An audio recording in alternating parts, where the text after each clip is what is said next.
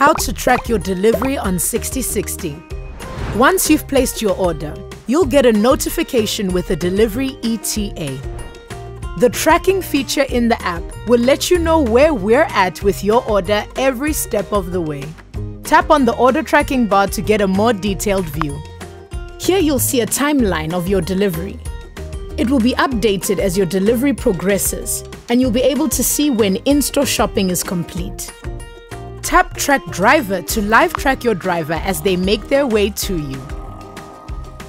Look out for a message when your driver is almost at your address so you can meet them for a seamless delivery. Congrats! You've just completed your Sixty60 order.